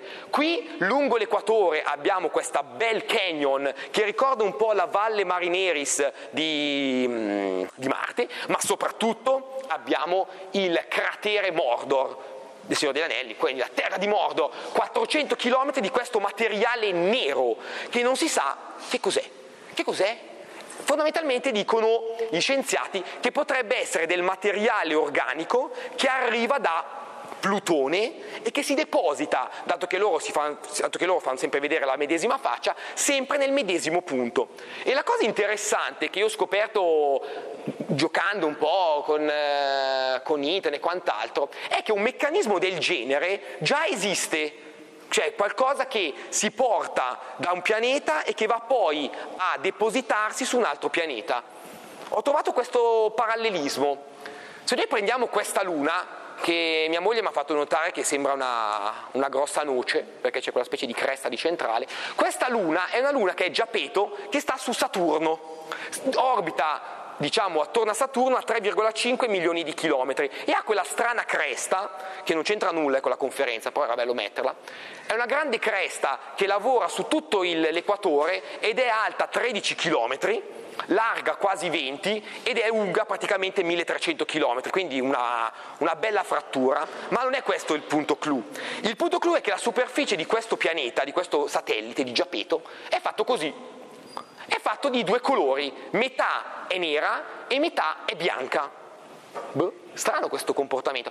E cos'è questo, questo, nero? Questo nero si ipotizza essere del metano piuttosto che del ghiaccio di ammoniaca che è stato annerito dalla radiazione ultravioletta del Sole che lo colpisce e quindi lo degrada. Molti dicono, le ipotesi, eh, ci sono due, due, filosofie di pensiero. La prima dice che questo materiale da dove arriva? Arriva da questo criovulcano che sta al centro e che ha eruttato questo materiale che poi si è annerito. Un'ipotesi un attimino più fantasiosa invece dice che in verità tutto il materiale arriva da questa luna che si chiama Febe, che orbita a 13 milioni di chilometri da Saturno, quindi molto più distante rispetto a Giapeto, e che tutti questi crateri da impatto hanno liberato del materiale che poi per motivi di gravità sono andati a finire sulla luna Giapeto. Quindi su Plutone abbiamo sul sistema Caronte-Plutone abbiamo il medesimo eh, meccanismo di accumulo di materiale, in questo caso organico, su Plutone-Caronte, che è stato già scoperto dalla NASA però su un sistema diciamo simile su Saturno. Quindi una bella analogia che comunque ci tenevo a, a mettere in, in evidenza. Questa è tutta la, diciamo, la, mm, la panoramica del, del pianeta di, di, di Caronte e qua abbiamo l'ultima chicca, che è bellissima da vedere, è questa specie di, come lo possiamo chiamare? Loro l'hanno chiamato Monte Kubrick. In verità io non ho ancora capito se quello è qualcosa che è stato incastonato o qualcosa che sta uscendo dalla superficie. E quindi qua il mistero, vedremo cosa la NASA diciamo, vorrà interpretare questa. Secondo me questa è una cosa che si è conficcata, però questo è un mio eh, proprio libero eh, giudizio. Infine arriviamo all'occultazione e qui abbiamo nient'altro che evidenziato il fatto che su Caronte, al contrario di Plutone, non abbiamo atmosfera. Su Caronte infatti non abbiamo la presenza di ghiacci esotici, quindi leggeri come azoto, ammoniaca, ma abbiamo fondamentalmente ghiaccio d'acqua. E, eh, eh, e questo nell'esempio, cioè il ghiaccio d'acqua è molto molto più duro da fare evaporare e quindi il calore, il poco calore del sole non è in grado di farlo diciamo sublimare. E qua lo vediamo, l'occultazione vuol dire che a un certo punto quando la nostra sonda parte, a un certo punto il sole, la luce del sole arriva, quando poi Caronte chiude il disco del, del nostro sole, la, la luce della stella, del sole crolla in maniera molto netta, molto sciarpa sharp, continua poi il buio e quando poi la sonda, il sole riemerge, la luce praticamente riprende in maniera molto netta, al contrario invece di Plutone che invece ha una sorta di eh, gradiente un pochino più morbido e poi vabbè la luce continua e, mm, e quindi fa vedere, diciamo, diciamo eh, dice qualcosa che già più o meno, più o meno si sapeva. Ma andiamo avanti con le ultime con le ultime eh, eh, lune, quindi dopo Caronte abbiamo Cerbero, Notte, Stige ed Idra, anche qua sono lune che hanno dato grande, delle grandi sorprese, per esempio questa Stige fotografata dalla camera Lorry nel 13 luglio e qua fa vedere che questo oggetto, e anche lui, che anche lui si è formato da quei detriti che sono usciti dalla grande collisione, non ha praticamente eh, ghiacci leggeri di azoto e di metano, ma anche lui è carico di ghiaccio d'acqua, quindi un oggetto estremamente ghiacciato, estremamente eh, luminoso, come si può vedere da questa immagine, un po' pixelosa ma ci va bene. Questa invece è notte e qua fa vedere l'unica particolarità che ho voluto evidenziare è questo cratere da impatto con tutto quel materiale eh, arancione, arancione, eh, fucsia, che potenzialmente potrebbe essere forse di origine organica questa è la luna Cerbero, molto molto piccola, scoperta nel 2011 e qua vedete che ha una strana forma, che gli, diciamo che le persone che amano questa cosa, eh, queste, diciamo, l'astronautica, le, le sonde, le, le, comete, riescono a riconoscere nella 67P. Se voi vedete le immagini della, della 67P, anche lei è fatta diciamo come una sorta di doppio lobo, un doppio lobo tenuta insieme da un collo che tiene insieme i due oggetti e questa diciamo è una, una forma, una morfologia che ritroviamo anche sulla luna Cerbero.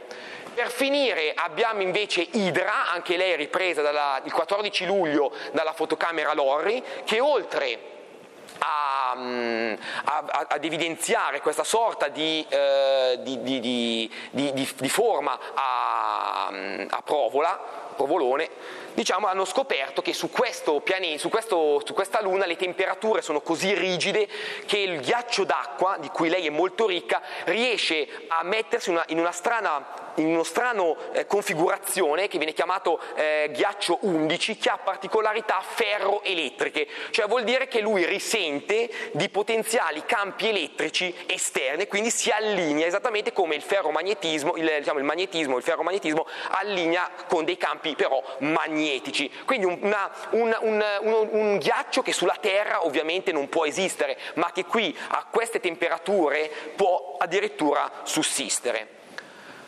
Questa è l'ultima immagine, questa è del 22 aprile, leggete lì, è quella dove stiamo andando. La sonda a questo punto ha finito, ha fatto vedere tutto quello che si poteva dire.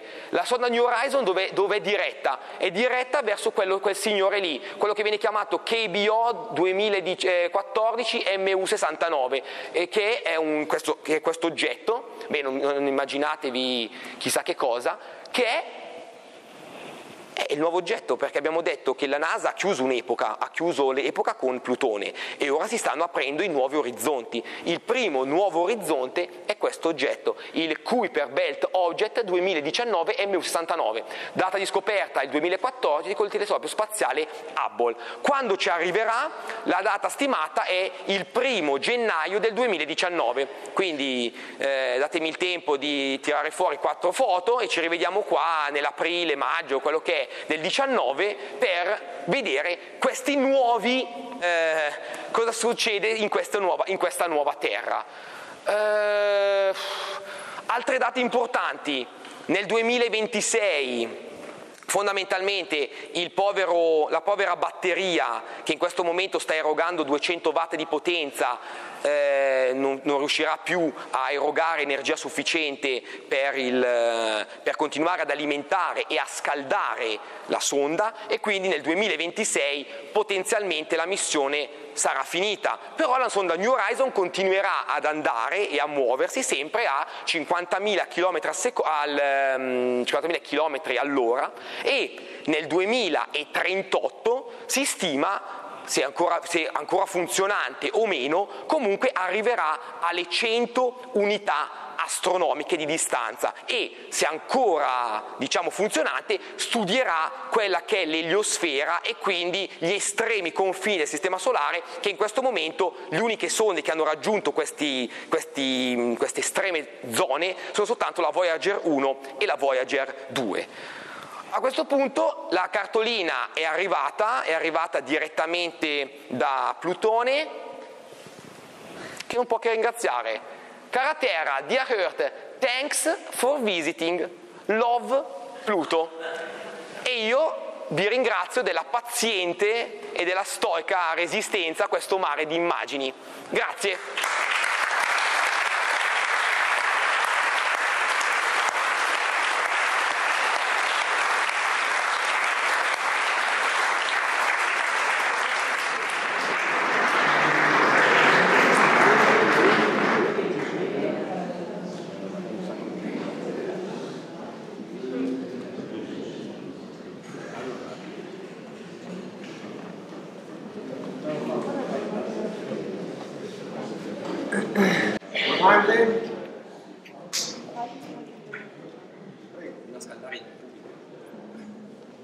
blackout.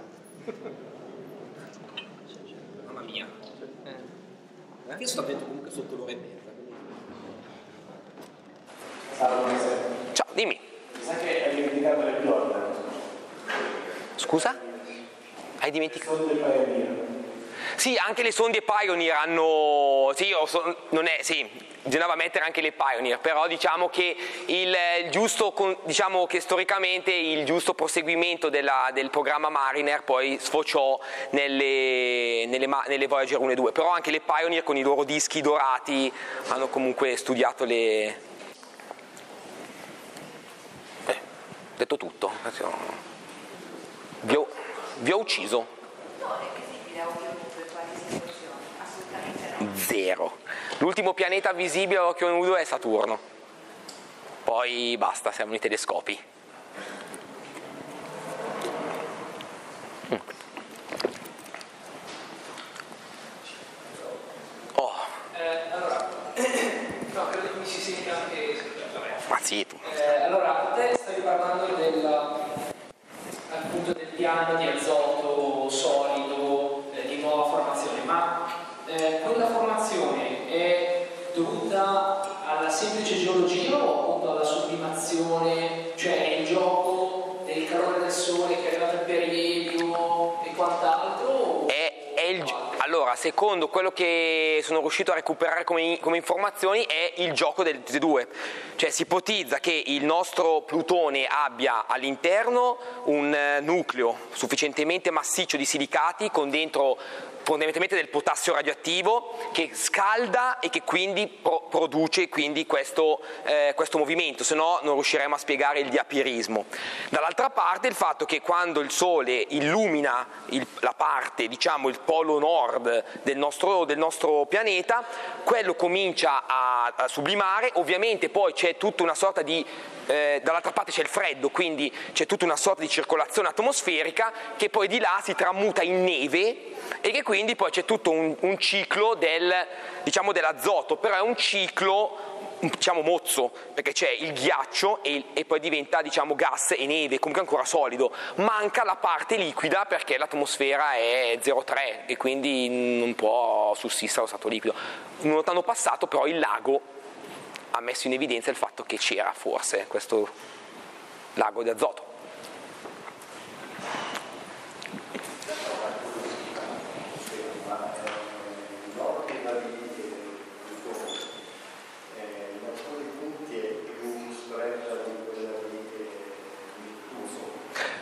Sì, infatti è molte volte, cioè in certe situazioni, adesso non so proprio bene i numeri a paragone, però si scambiano di posto, perché lui arriva, è molto, è molto ellittica, quindi passa da 4,5 a 7,5, ma in certi momenti si scambia con Nettuno, quindi in verità in certi momenti è lui essere il penultimo e Nettuno essere l'ultimo. E, anche 15 anni ogni 15 anni, sì, perché facendo poi i conti... E anche rispetto agli altri pianeti del sistema solare, gli altri su, rispetto all'eclittica, molto alta. Sì, esatto, quasi sono 17 gradi, una roba più o meno 17 gradi 20. Infatti già questo era già una, un primo campanello di allarme, cioè qualcosa che non tornava, perché tutti i pianeti erano perfettamente eh, allineati su un piano, mentre lui truc, casualmente era alto. Poi in verità dal, dal, grafico che ho fatto vedere in verità non è, non è un'eccezione, anzi è la regola che, che vige all'interno una, della fascia di Kuiper che sono tutti diciamo sparsi un po' dove li pare, quindi alcuni sono sul piano ma altri possono raggiungere anche ellittiche molto maggiori, quindi inclinazioni molto maggiori. Invece una domanda Dica. per eh, cercare di capire meglio anche le distanze di cui stiamo parlando. No? Eh, si parlava appunto loro sì. anche 10 anni per arrivare a, a raggiungere tutto. Eh, se trasferiamo la cosa nel sistema eh, Sole-Terra, se non erro, a una distanza di 8 minuti di luce. Sì. Dal punto di vista, no, rispetto al Sole è sempre 4 miliardi e mezzo di chilometri e dal punto di vista luce sono 4 ore e mezza.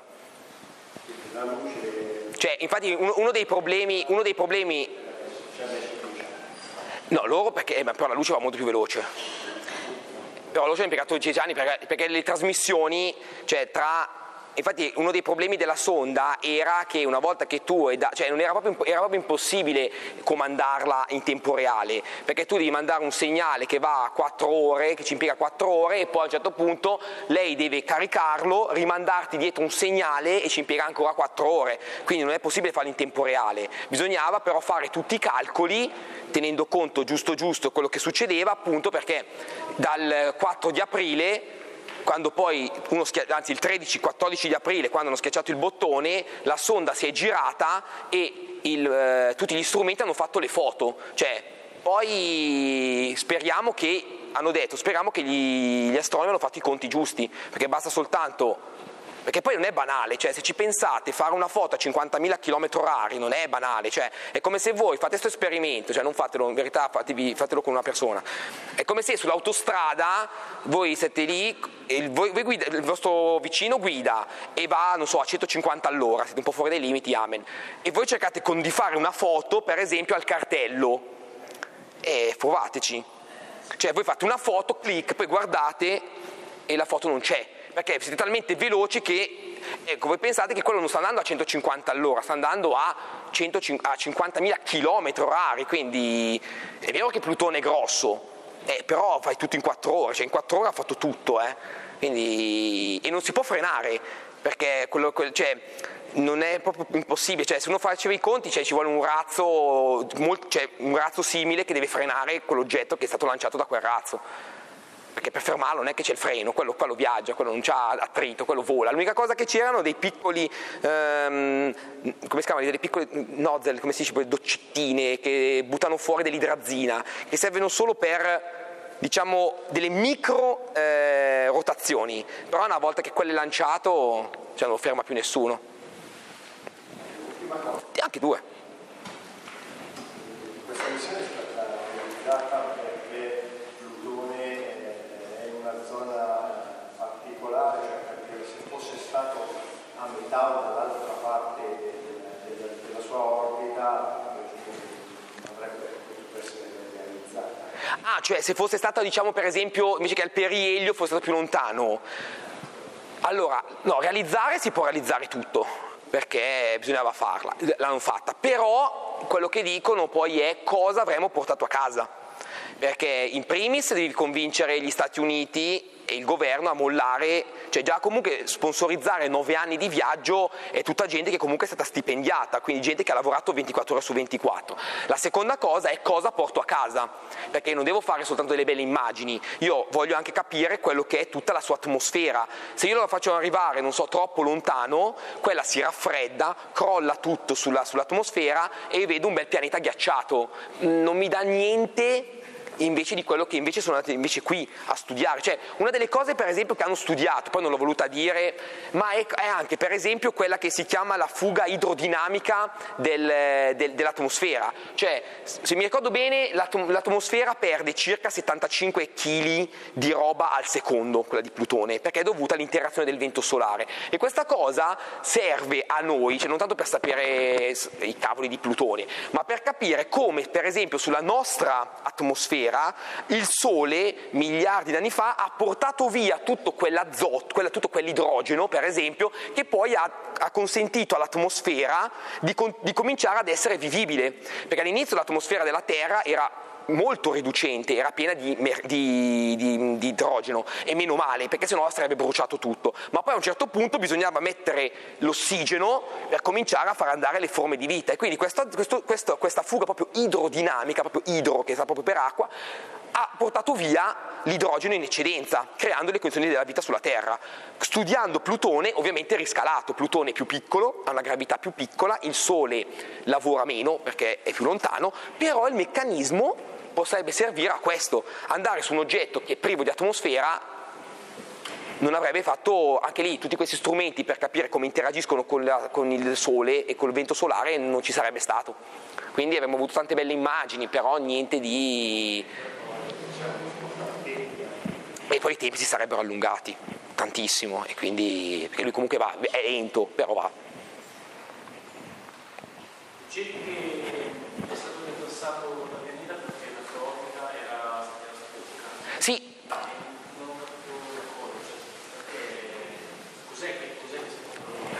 Può No, cioè l'orbita praticamente quando... No, si sente.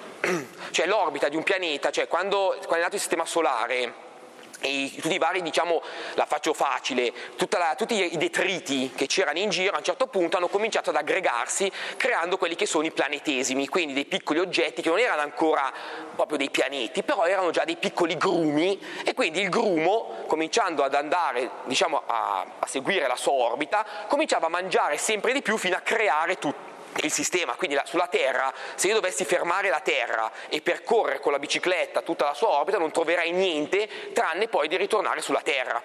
Invece Plutone, essendo così piccolo, che ha una massa di un centesimo rispetto alla Terra, ehm, non è riuscito a mangiare tutti questi detriti che gli stavano davanti e quindi la sua orbita è sporcata come tutti gli altri pianeti della fascia di Kuiper e a quel punto è stato il, il, diciamo, il l'ESCA per la nuova definizione di pianeta, perché se no avremmo avuto, avete visto quanti pianeti, cioè, invece, però non tutti sono usciti, diciamo, eh, non tutti sono usciti perdenti da questa, da questa, da questa declassazione declassamento, che fosse meglio. Eh, per esempio, il pianeta, il, anzi l'asteroide Vesta, o C, no, Cerere, è stato invece updatato, ha avuto una, un update, un upgrade a pianeta nano, perché lui era un asteroide, però lui essendo sferico e avendo l'orbita pulita, da asteroide è diventato pianeta nano, quindi Plutone è stato declassato, mentre un pianeta come un, un asteroide come Cerere invece è diventato un pianeta nano, quindi ha avuto un beneficio da questa nuova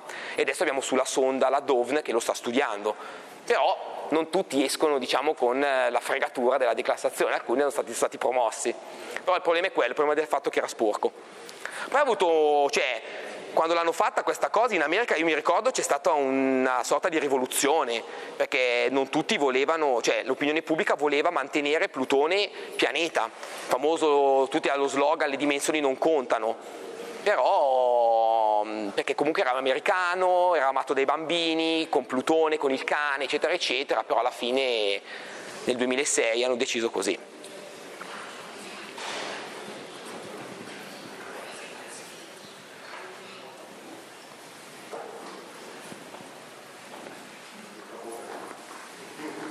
Spero che sia piaciuta.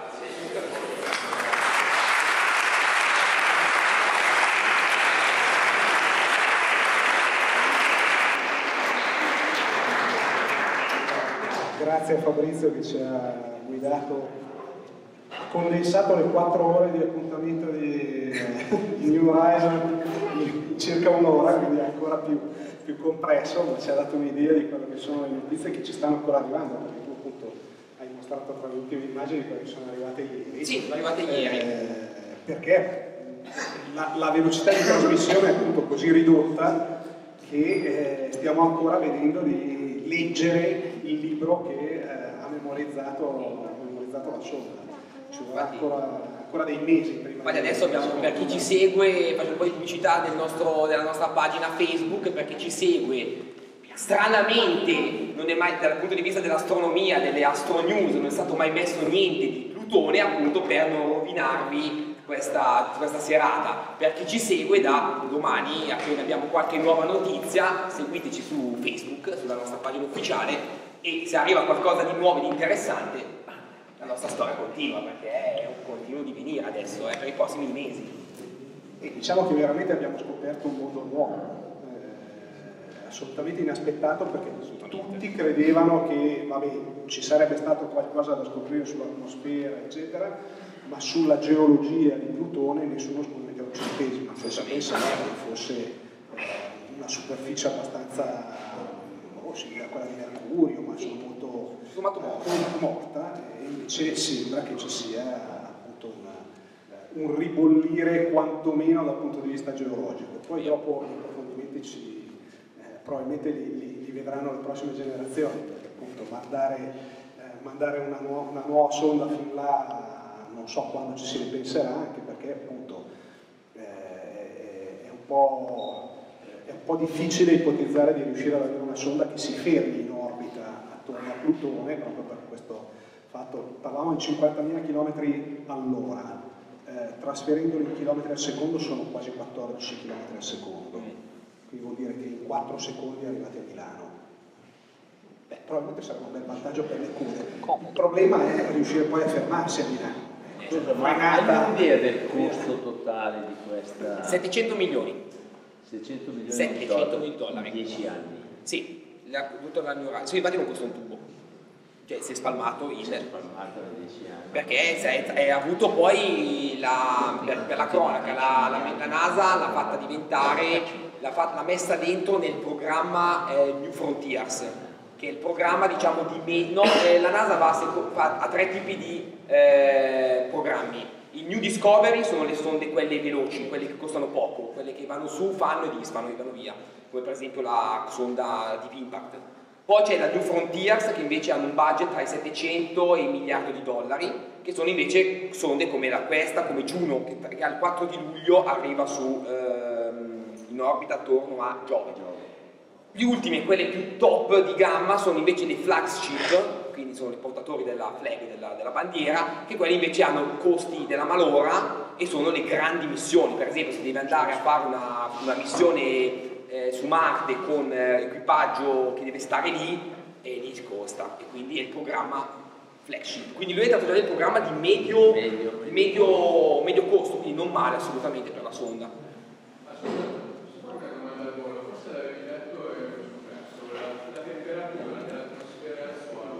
228 meno, mediamente meno 228, poi oscilla tra i meno 233 e se mi ricordo bene i 220 meno. Comunque è la temperatura sotto la quale sia la metano che il monossido che l'azoto sono comunque allo stato solido.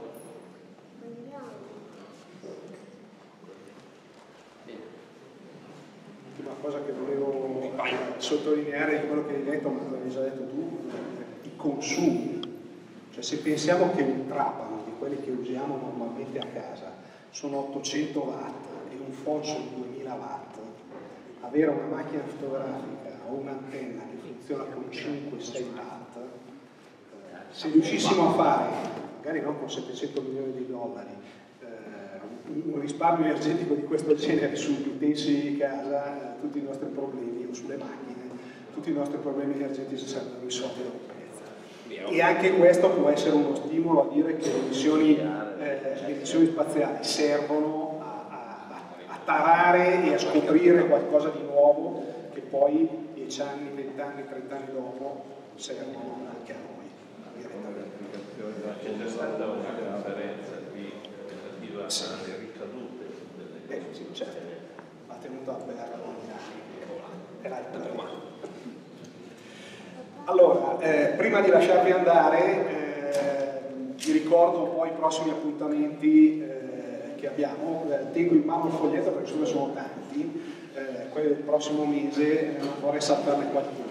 Il primo è sicuramente di fuoco. eh, un qualcosa di eh, speciale perché il 9 di maggio eh, ci sarà un transito di Mercurio sul Sole, quindi la posizione relativa tra la Terra, Mercurio e il Sole farà sì che eh, il disco, il dischetto di eh, Mercurio attraverserà eh, la superficie del Sole. Avverrà eh, un, un lunedì e inizierà in- circa intorno alla una eh, e si protrarrà fino oltre il tramonto.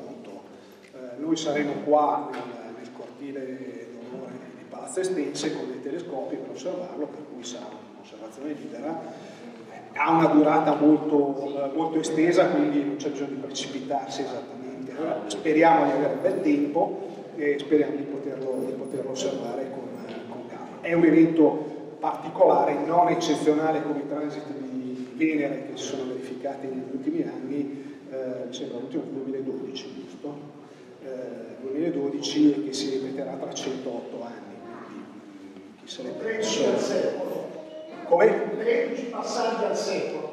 13 passaggi al secolo, quelli, quelli di Mercurio, quindi probabilmente eh, riusciremo anche a vedere eh, alcuni dei prossimi, non diamoci, non diamoci limiti troppo stretti.